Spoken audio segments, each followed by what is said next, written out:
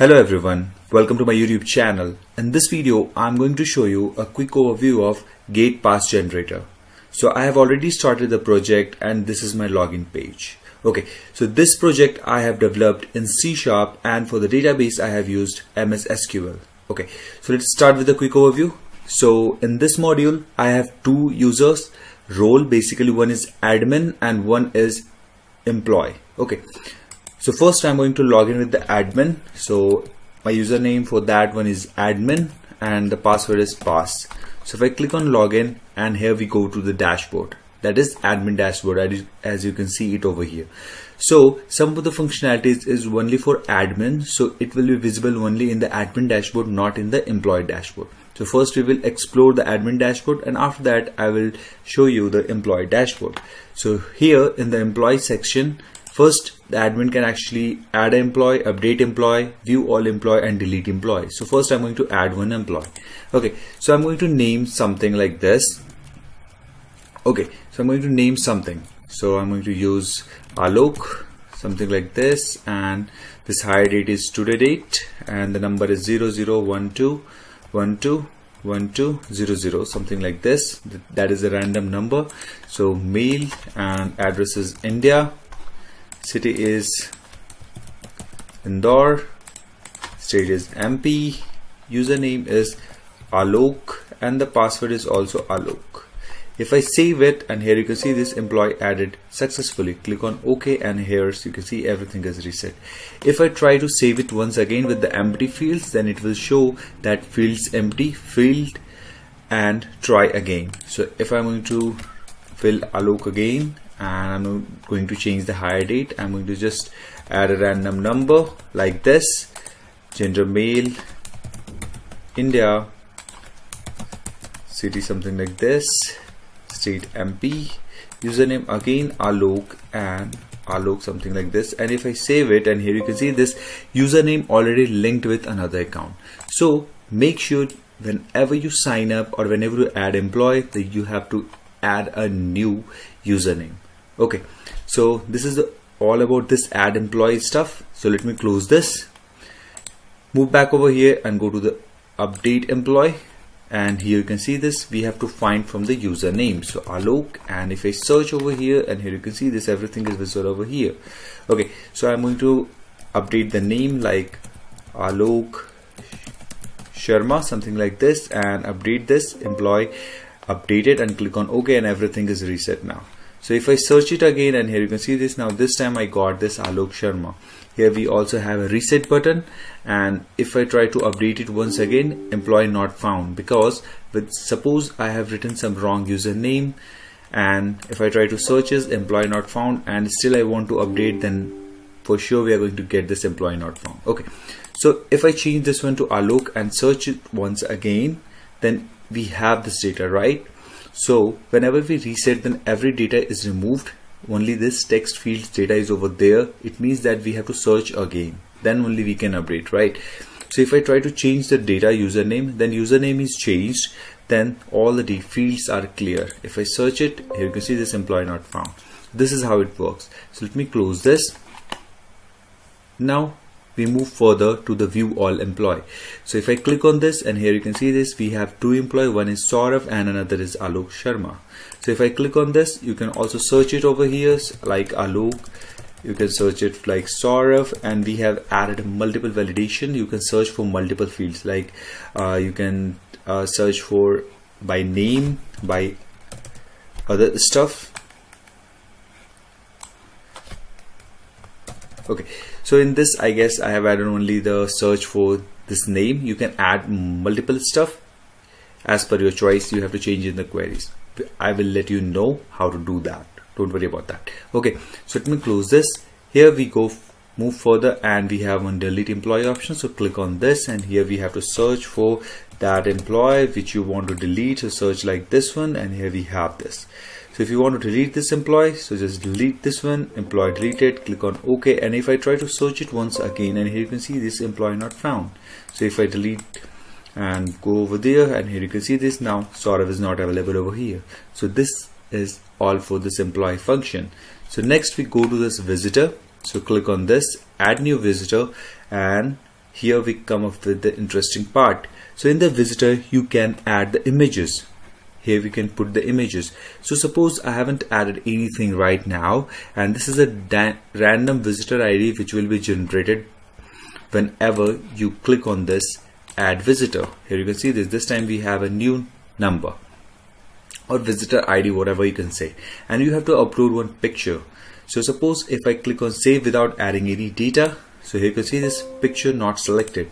So you have to click on this. It will open your local system uh, directory you can change the path. For now I have selected the C drive so that it's opening the C drive directly. So I'm going to downloads and I'm going to use one image over here. So this one and click on open.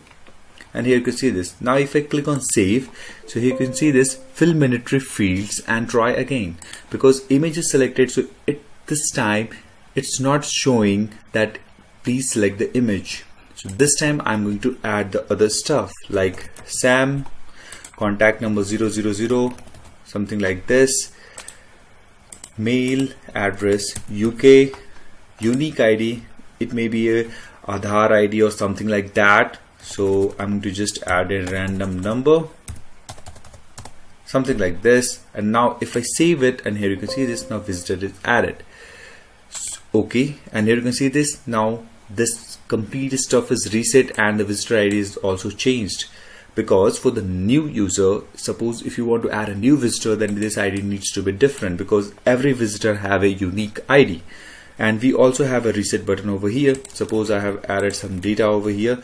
And one more stuff which I need to be very specific that in the contact field you cannot add string over here. So I have just you can see this I'm trying to type a B C something like this but I can't able to type it.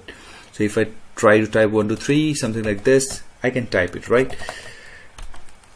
Here I've added the random data. So now I'm going to click on this reset and here you can see this. Now everything is changed. Whenever I click on reset and here you can see this now the visitor ID is changing. So let me just close this and move further to the update part of the visitor. So if I go over here so here we have to type the visitor ID as I have already told you that visitor ID is continuously changing so visitor ID is little bit long so let me just close this and move back over here and here we have option to view all visitor so here we have multiple visitor and we have added Sam again over here. So I'm going to copy this visitor ID. So let me just copy this, close this and move back over here and update click on update visitor and click on over here. So click on this and search the visitor. And here you can see this. Now we have this visitor. So if you want to upload or update the image so click on this one. Simply go to the documents and whatever the image you want to update just select that and update. So I have just uploaded some of the random images from the Google. You can use any other image so I'm just showing these images for demonstration purpose only. Okay so if I move back over here and click on this again if I go over here and here we go. And we have also fixed one small issue. So previously I have developed multiple C sharp project with using the third party dependency. So from now onwards I'm not going to use any third party dependency. You can directly develop by following all of my videos in any Visual Studio versions. Okay, so this is how this update visitor works. So if I click on this, you can view and as well as you can search over here. Okay, so next thing we move to the this generate pass. So if I click on this and here we have all the visitors over here. So if I want to search someone like Sam and even I can search for Gaurav something like this so if I'm going to select this one and here we have this this data we I have actually added previously so we can select any data as per your choice. So I'm selecting this one and let me just remove this and select this one Sam which we have added right now. Okay. So here we have the pass color on the basis of the validation. So if the pass is for one day pass then the color will be this one. If the pass is for two to seven days pass then the color will be yellow. And if it's more than one week then the color will be like this. And by default this green color will be visible over here. Suppose I'm going to select this 24 so here you can see this 24 12 and 2022 is selected. If I am trying to select some older date than today so it will say select today date or date after today. So just click on OK and select this 24 and if I try to select 24 before this 24 date so select date after valid from date. So this is the valid from date. So it's asking us to select the date after 24 so again I'm going to select this 24 here you can see this now the validation date is 24 to 24 so that's why the color for this one is this gray. If I am changing this one to 25 so you can see this now the color is yellow. And if I'm going to change this one for more than one week. So here you can see this. Now this is a different color. So if I click on this generate button so you can see this. Now this printing happens and this is how this pass will be generated. And even you can print it over here or you can save it as PDF in your system. Okay so whatever the header you want to put you can put it over here so I have just added this period days gate pass. You can add any other stuff. You can use it this one in multiple places. So let me just close this. This is how the PDF is generated. And once PDF is generated you can also validate that pass. So let me just close this go to the validate pass and here we have this multiple passes. Okay so we have one pass for Sam which is expired because it's showing in the red color and if it's valid then it will be in green color. So if I move back to the right till and here you can see this. Now the validation valid from date is 17 12 2022 and the valid to date is also 2022 if I click on this one 18 20 12 2022 2 24 12 2022 so it's valid. If I click on this one this one is invalid and the same way right now we have created this one and this is valid. Okay. So here the pass color will be not visible on the basis of date and other stuff. If you want to show it you can show it as well. Okay. So this is how uh, you can validate the pass at the whenever someone is entering in your premises so you can validate over here. You can also search it like this one. Sam we have uh, actually generated three pass for Sam. You can also generate multiple pass for multiple users. Okay so let me just close this. Next thing we have this filter pass so if I click on this and here we have multiple stuff. If you want to search this is the filter type. So if you want to filter on the basis of date so you can select this valid from.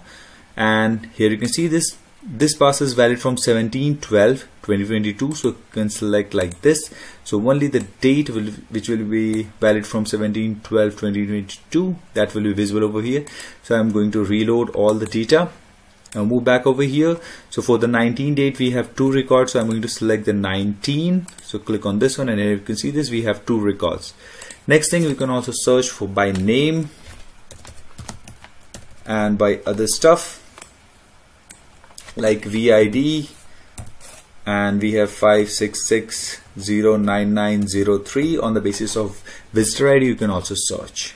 So this is how you can filter all the passes.